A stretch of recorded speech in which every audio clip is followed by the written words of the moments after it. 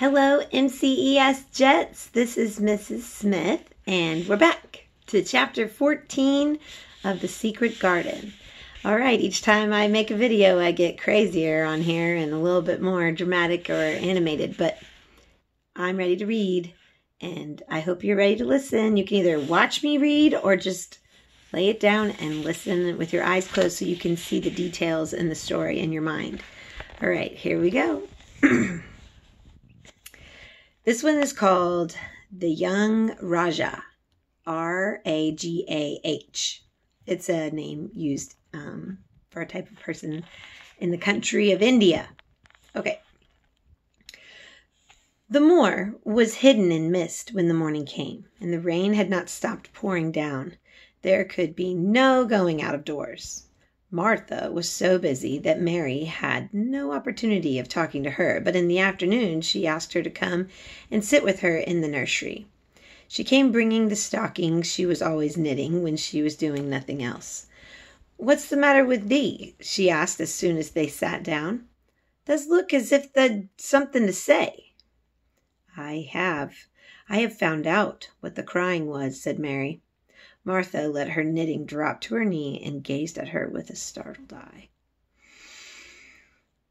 "The hasn't!" she exclaimed. "Never!" "I heard it in the night," Mary went on, "and I got up and I went to see where it came from. It was Colin. I found him." Martha's face became red with fright. "Oh, Miss Mary!" she cried. "Thou shouldn't have done that. Thou shouldn't. Thou'll give me in trouble. I never told thee nothing about him. But they'll get me in trouble. I shall lose my place, and what'll my mother do?" "You won't lose your place," said Mary. "He was glad I came. We talked and talked, and he said he was glad I came." "Was he?" cried Martha. "Art thou sure? That doesn't know what he's like when anything vexes him. He's a big lad to cry like a baby, but when he's in a passion he'll fair scream just to frighten us.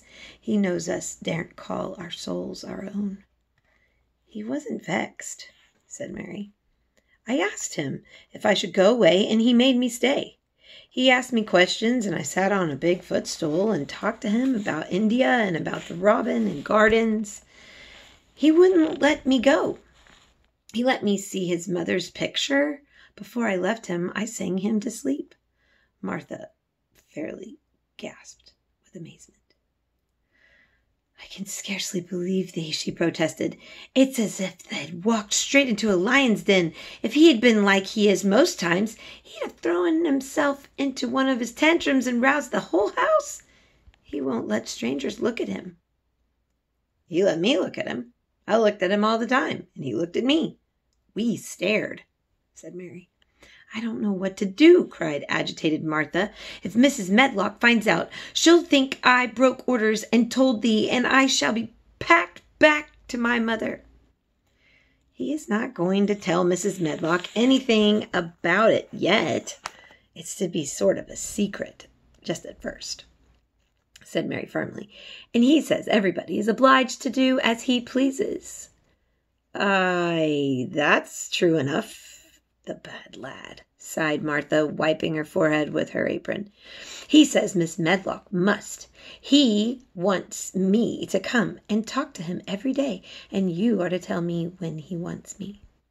"Me!" said Martha. "I shall lose my place, I shall for sure." "You can't if you are doing what he wants you to do, and everybody is ordered to obey him," Mary answered, kind of arguing.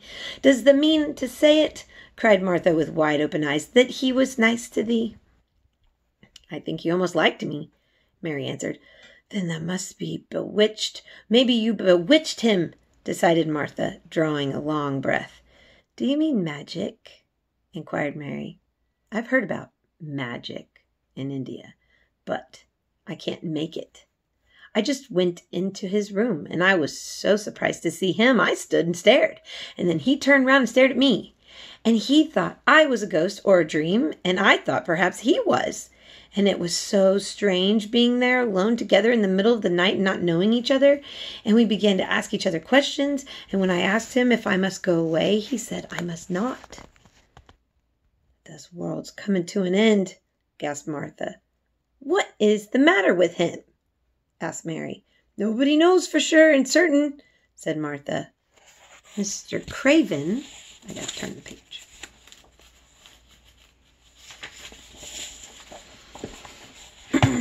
Mr. Craven went off. His head, like when he was born. The doctors thought he'd have to be put in an asylum. It was because Mrs. Craven died, like I told you. He wouldn't set eyes on the baby. He just raved and said it'd be another hunchback like him and it'd better die. Is Colin a hunchback? Mary asked. He didn't look like one. Well, he isn't yet, said Martha. But he began all wrong. Mother said that there was enough trouble and raging in the house to set any child wrong. They was afraid his back was weak, and they've always been taking care of it, keeping him lying down and not letting him walk. Once they made him wear a brace, but he fretted so he was downright ill. Then a big doctor came to see him and made them take it off. He talked to the other doctor quite rough in a polite way. He said there'd been too much medicine and too much letting him have his own way. I think he's a very spoiled boy, said Mary. He's the worst young nowt I ever was, as ever was, said Martha. I won't say as he hasn't been ill a good bit. He's had coughs and colds that's nearly killed him two or three times. Once he had rheumatic fever, and once he had typhoid. Eh, Miss Medlock did get a fright then. He'd been out of his head, and she was talking to the nurse thinking he didn't know nothing, and she did. He'll die this time sure enough, and best thing for him and everybody. And she looked at him, and there he was with his big big eyes wide open, staring at her as sensible and as as uh, as sensible as herself. She didn't know what had happened, but he just stared at her, and he says, "You give me some water and stop talking." "Do you think he will die?" asked Mary. Mother says there's no reason why any child should live that gets no fresh air and doesn't do nothing but lie on his back and read picture books and take medicine. He's weak and hates the trouble of being together outside, and he gets cold so easy, he says it makes him ill. Mary sat and looked at the fire. I wonder, she said slowly, if it would not do him good to go out into a garden and watch things growing. It did me good. One of the worst fits he ever had, said Martha, was one time they took him out where the roses is by the fountain. He'd been reading a paper about people getting something called rose cold.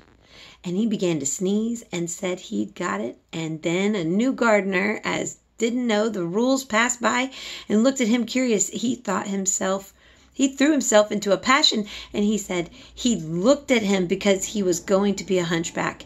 He cried himself into a fever and was ill all night. If he ever gets angry at me, I'll never go and see him again, said Mary. He'll have thee if he wants thee, said Martha. The may, the may as well know that from the start. Very soon after a bell rang and she uh, very soon after a bell rang and she rolled up her knitting. I dare say the nurse wants me to stay with him a bit, she said. I hope he's in good temper. She went out of the room about ten minutes and then came back with a puzzled expression. Well, those bewitched him, she said. He's up on his sofa with his picture books. He's told the nurse to stay away until six o'clock. I'm to wait in the next room.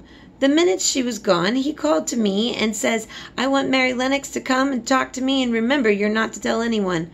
You'd better go as quick as you can.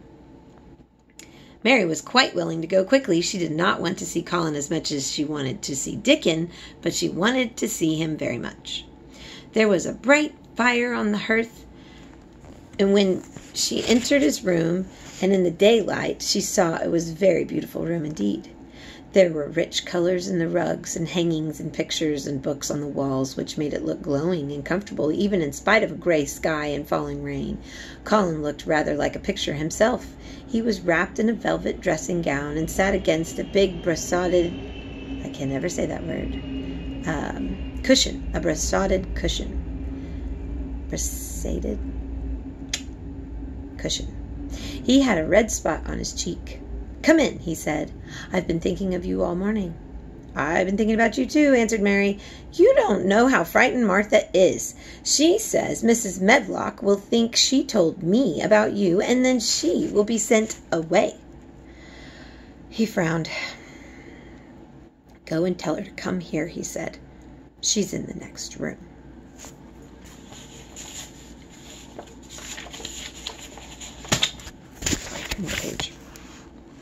Mary went and brought her back. Poor Martha was shaking in her shoes. Colin was still frowning. Have you to do what I please, or have you not? he demanded. I have to do what you please, sir, Martha faltered, turning quite red. As Miss has Miss Medlock to do what I please? Everybody has, sir, said Martha. Well then, if I order you to bring Miss Mary to me, how can Miss Medlock send you away if she finds it out? Please don't let her, sir, pleaded Martha. I'll send her away if she dares to say a word about such a thing, said Master Craven grandly. She wouldn't like that, I can tell you. Thank you, sir. Bobbing a curtsy. I want to do my duty, sir. What I want is your duty, said Colin more grandly still. I'll take care of you. Now go away. When the door closed behind Martha, Colin found Mistress Mary gazing at him as if he had set her wondering. Why do you look at me like that? he asked her. What are you thinking about? I'm thinking about two things. What are they? Sit down and tell me. This is the first one, said Mary, seating herself on the big stool. Once in India I saw a boy who was a Rajah. He had rubies and emeralds and diamonds stuck all over him, and he spoke to his people just as you spoke to Martha. Everybody had to do everything he told them in a minute. I think they would have been killed if they hadn't. I shall make you tell me about Rajahs presently, he said. But first, tell me what the second thing was. I was thinking, said Mary, how different you are from Dickon. Well, who's Dickon? he said. What a strange name. She might as well tell him she thought she could talk about Dickon without mentioning the secret garden, and she liked to hear Martha talk about him. Besides, she longed to talk about him. It would seem to bring him closer. He is Martha's brother. He's twelve years old, she explained. He is not like any one of us in the world. He can charm foxes and squirrels and birds, just as the natives in India charm snakes. He plays a very soft tune on a pipe, and they come and listen. There were some big books on a table at his side, and he dragged one suddenly toward him. There is a picture of Snake Charmer in this, he exclaimed. Come and look at it. The book was a beautiful one with superb color illustrations, and he turned to one of them. Can he do that? he asked eagerly.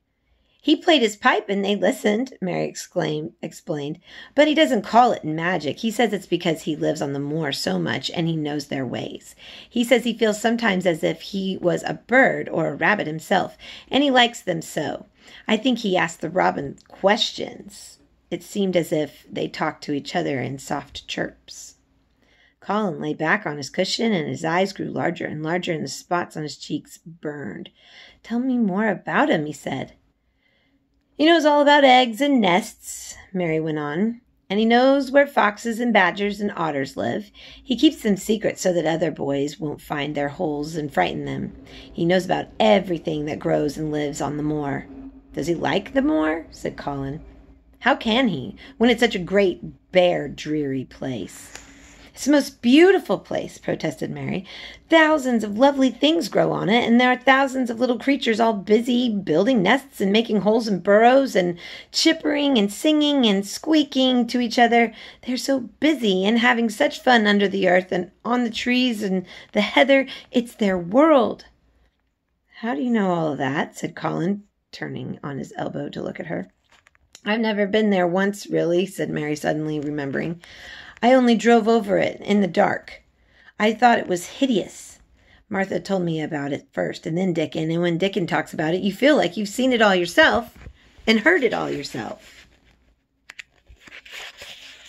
Turning the page and I went too far.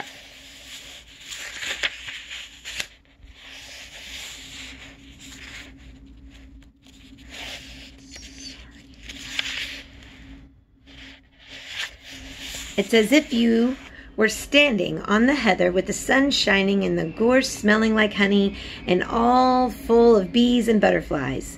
You never see anything if you are ill, said Colin restlessly. He looked like a person listening to a new sound in the distance and wondering what it was. You can't if you stay in a room, said Mary. I couldn't go on the moor, he said in a resentful tone. Mary was silent for a minute, and then she said something bold. You might. Sometime. He moved as if he were startled. Go on the moor? How could I? I'm going to die. How do you know? said Mary unsympathetically. She didn't like the way that he had been talking about dying. She did not feel very sympathetic. She felt rather as if he almost boasted about it. Oh, I've heard it ever since I remember, he said crossly. They are always whispering about it and thinking I don't notice. They wish I would too. Mistress Mary felt quite contrary. She pinched her lips together. If they wished I would, she said, I wouldn't. Who wishes you would? The servants, and of course Dr. Craven, because he would get Misselthwaite and be rich instead of poor. He daren't say so, but he always looks cheerful when I'm the worst. And when I had typhoid fever, his face got quite fat. I think my father wishes it too. Don't believe he does, Mary said obstinately. That made Colin turn and look at her again. Don't you? he said, and then he lay back on his cushion and was still as if he were thinking, and there was quite a long silence. Perhaps they were both of them thinking strange things children do not usually think of. I like the grand doctor from London because he made them take the iron thing off, said Mary at last. Did he say you were going to die? No. What did he say? He didn't whisper, Colin answered. Perhaps he knew I hated whispering.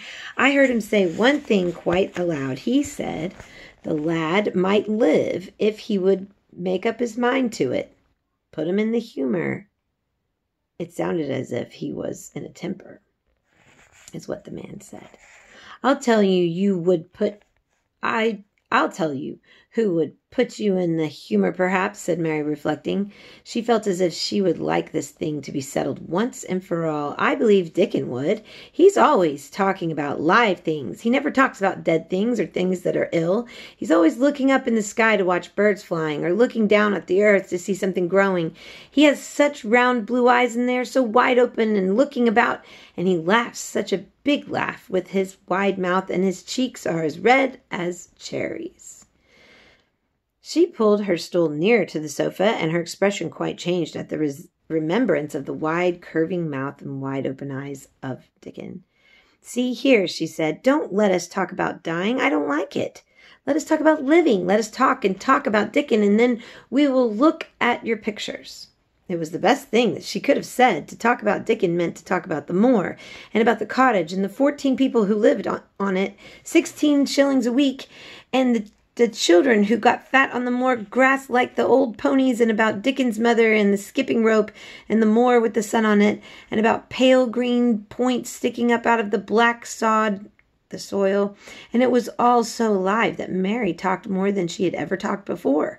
Colin both talked and listened as he had never done before, and they both began to laugh over nothing and as children do when they're just happy together and they laughed so that in the end they were making as much noise as if they had been two ordinary healthy 10 year old creatures instead of a hard little unloving girl and a sickly boy who believed that he was going to die i'm going to pause it and you're not going to notice but i need to stretch Yep, see? That was quick stretch. All right. They enjoyed themselves so much that they forgot the pictures and they forgot about the time. And they'd been laughing quite loudly over the whole story of Ben Weatherstaff and his robin, and Colin was actually sitting up as if he had forgotten about his weak back when he suddenly remembered something. Do you know there is one thing we have never once thought of? he said. We are cousins. Seemed so strange that they had talked so much and never remembered this simple thing that they laughed more than ever because they had gotten to uh, into the humor to laugh at anything. And in the midst of the fun, the door opened and in walked Dr. Craven and Mrs. Medlock. Dr. Craven started in actual alarm. Mrs. Medlock almost fell back because she had accidentally bumped against her. He had accidentally bumped against her. Good Lord! exclaimed poor Mrs. Medlock with her eyes almost staring out of her head. Good Lord! What is this? said Dr. Craven, coming forward. What does it mean? Then Mary was reminded of the boy Rajah again. Colin answered as if neither the doctor's alarm nor Mrs. Medlock's terror were of the slightest consequence. He was as little disturbed or frightened as if an elderly cat or dog had walked into the room. This is my cousin, Mary Lennox, he said. I asked her to come and talk to me. I like her. She must come and talk to me whenever I send for her. Dr. Craven turned reproachfully to Mrs. Medlock. Oh, sir, she panted, I don't know how it's happened. There's not a servant in this place that's dared to talk. They all have their orders. Nobody told her anything, said Colin. She heard me crying and found me herself. I'm glad she came. Don't be silly, Medlock.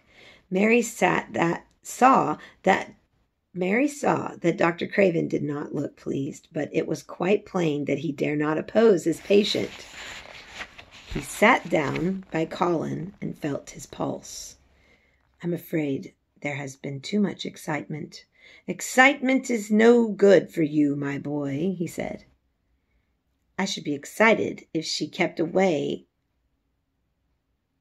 answered Colin, his eyes beginning to look dangerously sparkling. I am better. She makes me better. The nurse must bring up her tea with me. Okay, so when he says, I should be excited if she kept away, back then, excited would mean like upset, like going crazy, throwing tantrums, I guess. So he says, I should be excited if she kept away, answered Colin, his eyes beginning to look dangerously sparkling. I am better. She makes me better. The nurse must bring her tea with mine, and we will have tea together. Mrs. Medlock and Dr. Craven looked at each other in a troubled way, but there was evidently nothing to be done. It does look rather better, sir, ventured Mrs. Medlock, but thinking the matter over, he looked better this morning before she came into the room. She came into the room last night.